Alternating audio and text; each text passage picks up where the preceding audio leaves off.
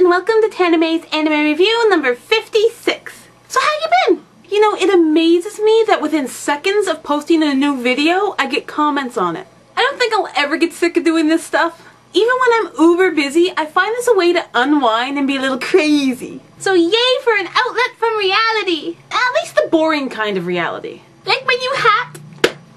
Yeah! Today's anime review is dedicated to Cami and Pammy. It's also one of the most requested animes on my list. Hmm, I wonder if the original requester actually still watches my videos. They made this request a long time ago. Anyway, today's anime is...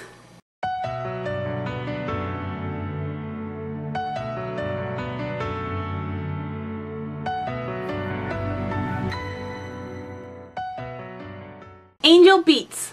There was a light novel released in November of 2009 titled Angel Beats Track Zero. And then in December of 2009, a still ongoing manga series was released. It's called Angel Beats 4 Koma, Our War Front March Song. Currently there is only one volume out. The anime series started airing on April 3rd of 2010 and finished on June 26th of 2010 with 13 episodes. There is also a second manga series that's also still ongoing, which was released in May of 2010. It's called Angel Beats Heaven's Door, and currently has two volumes out.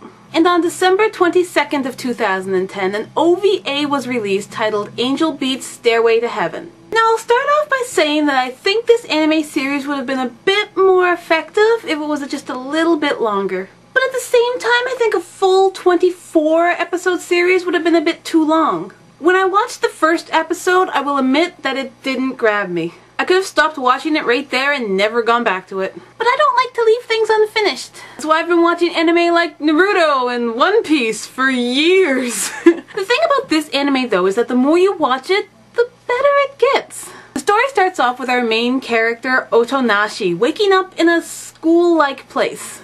He sees a girl, Yurippe, pointing a gun at another girl in the distance. Yurippe tells him that the girl in the distance is an angel, and that he's dead. That they're all dead for that matter. Whoa, what's what's going on? You're dead. What? What are you doing? That girl down there, she's an angel, and I'm going to shoot her. You're going to shoot her because she's an angel. Exactly. And here I thought you wouldn't understand. Right. Wait, where are you going? Oh, come on, it's not that bad. Did that not make any sense? Well, that's pretty much the impression you'll get when you first start watching this anime. It doesn't quite make sense and you don't know what's going on. So, every character in this anime is dead. The place they are is like a high school based purgatory. It's that place between life and death where you wait to find out where you're going next, whether it be heaven, hell, or be reborn. Trying to find some sort of sense in everything, Otonashi goes to talk to the angel. Angel. Though during their conversation and something he says, she kinda kills him.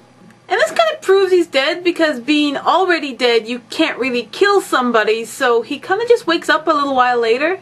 And this kind of forces him to believe what they're saying is true. And having been killed once by this angel, he suddenly doesn't quite trust her. I know what you're thinking, an angel killing someone, isn't that wrong? Angels are supposed to be good. Like I said, it's confusing, but it all wraps up in the end. Now, Otonashi doesn't remember dying or anything from his past. And Yurippe leads a group of people who are trying to fight against death. Those who do as they're told and follow the rules in this place will eventually disappear. Those who rebel don't. And it is those people who are not yet ready to just simply accept death. It's the people who die with regret. Like I said, the more you watch, the more things start to make sense and it's less hard to follow. The story gets really deep and really in-depth really fast also, but again that's because it's such a short series, they need to push all this information into a very short time. There are some really great characters in this anime, and you're bound to bond with someone. Although apart from the three main characters that I just mentioned, the rest of the characters don't get a lot of screen time. Which makes me a little sad because it was one of those not main characters that ended up being my favorite. The animation is something to look forward to. It is very crisp and flows beautifully. I went into this anime being told I was gonna cry. And I know a lot of people who watched this anime and did cry. And I will admit it very much did pull at my heartstrings. But I didn't cry. Maybe a little eye-watering, but no tears. I was impressed with the ending though, but at the same time I feel it was just a little forced. Like the road to get there needed a little bit more explanation before actually getting to that part. Still good though. I'm going to give this anime a 4 out of 5. I suggest that if you're going to watch this anime, give it at least 5 episodes before you decide whether you're going to keep watching it or drop it. Because even if it doesn't grab you right away, like I said before, it has a way of pulling you in as you watch. And if you liked this anime, you'll also like The Melancholy of Haruhi Suzumiya, Clannad, and Ano hi mita hano no name o baku tachi wa mada shiranai. yeah, that last one's title was a mouthful and a half, and I probably pronounced it wrong. I'll have to ask Shot Anime how it's supposed to be pronounced. She'll probably know, because she's cool like that. Thanks for watching, guys. I hope you enjoyed, and I'll see you next time. Bye-bye!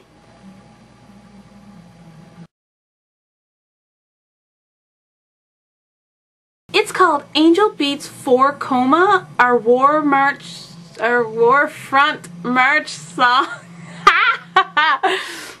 it's called Angel Beats I'm never going to get it. The anime series started airing on... oh god.